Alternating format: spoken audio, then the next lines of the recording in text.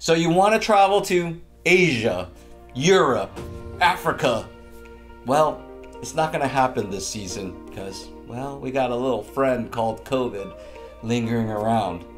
Most of you all are probably thinking about what are we going to do this holiday and where are we going to travel? So, a lot of you are going to hit the road, but you're going to do it unsafely and unhealthy. So, we want to show the right ways to position yourselves so you can have safe long drives and have a great road trip and then come back and feel good.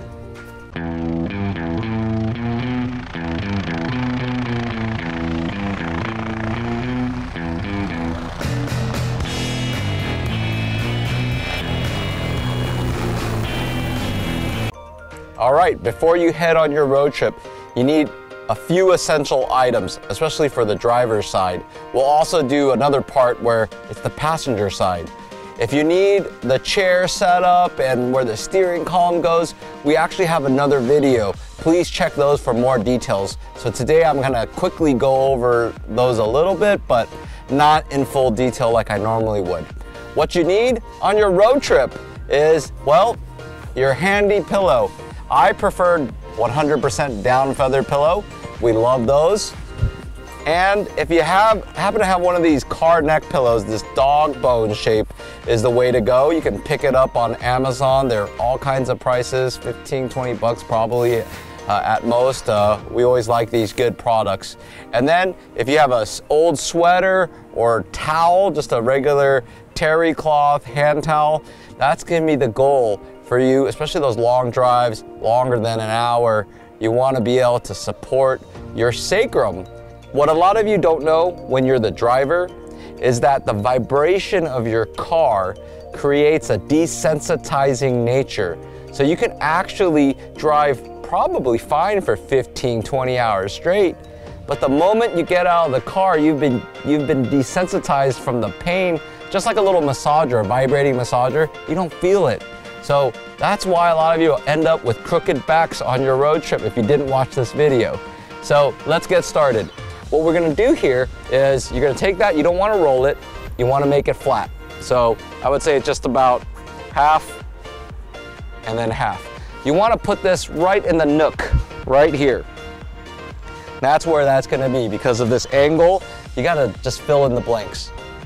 The next spot, like I said, there's a cool thing with these dog bone ones. You just put it right over the headrest. That's gonna rest on the curvature of your neck.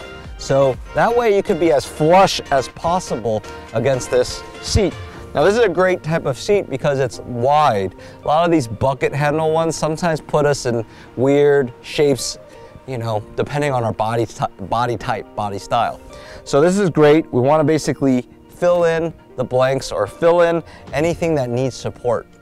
Now, where this comes in in a little bit is when we're just driving straight, whether it's these these straight lanes, not a lot of the winding roads. I prefer not to use that, but that's going to be a place for your elbows, so you're not leaning on one side or the other side. So check this out. What I'm going to do here is I'm going to get right in. Now, generally, the, the cool part of this is that we can use, and you want to find the right kind of place for this, but you generally want to be about arm's length, and that's about it. I'm gonna lock that in. But what this has done is I'm creating that nice support here. It should feel pretty good. And then with this pillow, once I'm off of these crazy highways and maybe on these one-way long stretches, you can do this. This is the cool part.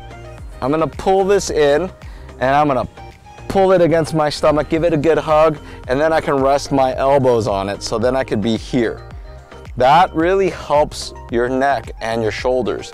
You're just tucking that in and then just enjoying a little bit of drive so long as the steering is more or less straight. I'll show you what it's like without the pillow um, and you can test try it at home. It just gets heavier, but one test I always tell folks is turn your head. If you're in a relaxed state, it's free and easy. I can move it both ways. But the moment I take this away and hold that, you can see I'm using a lot more neck muscles, all that pressure. And then of course, like I said, the vibrations. That's gonna really hurt our spine and our desensitize our nerves the most. So you wanna put this back on. Let's take a look again. And you can see that just free and easy. I'm not really straining as much. So that's gonna help, of course, checking your blind spots. Why not do that? You're gonna do a lot in an hour or two or five hours or 15 hours. So you gotta be careful. This is the way to do it. And then, yeah, just make sure you check out our other video of how to set up the right height, the right length, and we'll stay tuned. We're gonna talk about the passenger side, and you're gonna need a little bit more support. So let's talk about that next. All right, so the passenger side's a little bit different. We're gonna need another pillow or another level support. Now, if you only wanna carry one pillow, you could do it the exact same way as the driver's side, where you take that pillow, hug it, and then drop your elbows. But what a lot of you don't know is that the passenger in a long road trip often is the one that gets hurt the most. Now, why is that? Well, when you're driving, you generally know where the twists and turns are in the vehicle. So you know when you're gonna go left, you know when you're gonna go right. But when you're a passenger, you're not really paying attention. So you're not knowing when you're gonna brake. So you don't really support that neck as much as you'd like.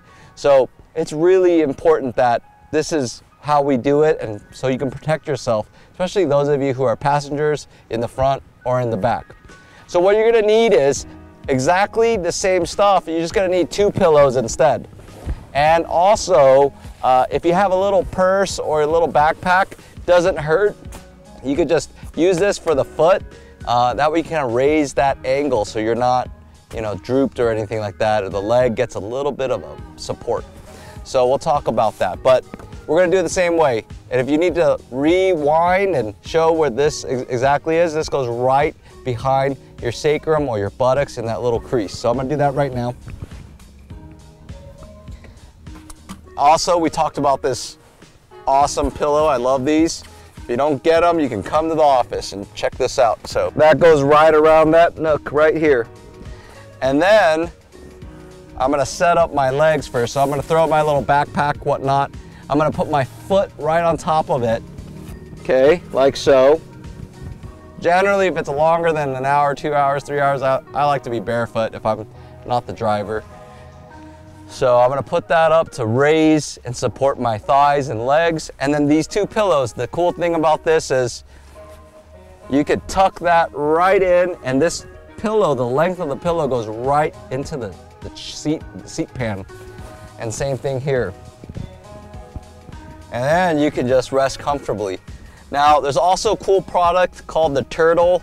Uh, we, we can link that below. That's a great little thing to also support your neck if you happen to want to pass out in your drive so your head's not bobbing around all the time and you need to support that. But here's the cool thing. I want to show you guys that I, with these two pillows supported, propping up my armpits, I'm able to get good range. But I'm gonna take it away and let's see that. So this is just by my side. And once again, I think I lose about 15 degrees. This is great for you guys to check that at home. So once again, if you only have one pillow, you can also just, like I said, hug it, tuck it. It's not as good, but Remember, when you're the passenger, you're kind of at the whim of the driver, where whether it's going side to side, bobbing, vibration. At least when I'm the driver, I know when to engage and kind of guard a little bit so that I'm not getting rattled. So you're probably all saying, what am I gonna do with all these pillows and all that stuff you gotta bring along on your car or in your car? That's okay. It's better safer than sorry. We find many ways to stick it in areas and nooks and crannies, especially when we're getting in and out of the car. They're definitely lifesavers. I can tell you, any drive I do more than an hour and a half, I'm using a lot of these pills and a lot of these strategies just to save my back. And now I can endure 15, 20, 30 hours years later after just applying these techniques. So hopefully you guys are using this safely wherever you guys safe journeys during these holiday travels. We'd love to hear your feedback And if you want to keep passing this video along to loved ones and friends, please do so. Uh, so yeah, if you like what we're doing and we've got all this cool new stuff, especially in the new year, really excited about the new year. We've got some new ideas we're gonna throw at you. Please subscribe to our channel. We're always pumping out cool new stuff, healthy information, things to take care of yourself, and yeah, just make life better. Just be healthy, especially during this time. I'm Dr. Lin. Remember, we heal smarter, not harder.